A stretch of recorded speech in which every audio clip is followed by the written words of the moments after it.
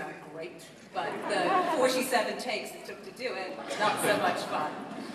We did have one just this last week where I had, Cole gets two lines. For some reason, Johnny and Julie very nicely gave me like six lines of gibberish. Not that I'm upset about it or anything at all. Thanks, guys. You do that on purpose, don't you? You do that to torture me. There's something very satisfying about always giving you a very, very long spell in the script. I hate you both. Because we know at the table read, Katie will have to get it right in one go. Do you know how embarrassing those things are? It's like stumbling over it and somebody's telling me, Kate, that's not what it says on the page. you try it. Well, Anthony and Bradley, you guys had a pretty amazing duel during the tournament. So it was a little more psychological than just physical. So do you think Uther's ready to give up the crown to Arthur?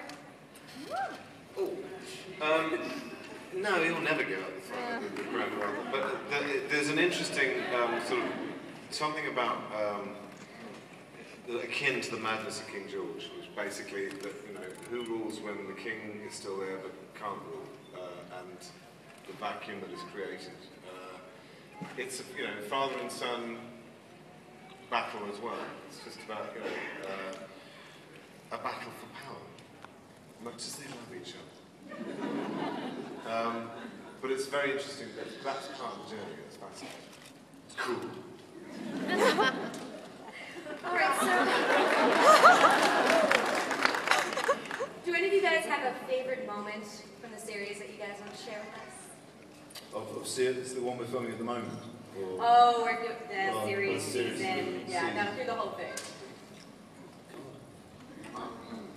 Uh, I think my favourite has to be uh, Excalibur coming out of the water and, uh,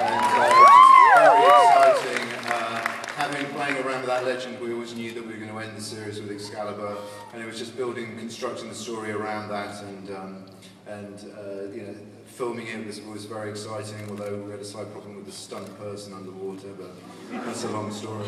Um, uh, but that, that was that was hugely exciting for me for the Excalibur and seeing the, the final moment of, uh, of, of Merlin um, plunging it into to the rock, which was I think definitely a high moment for me.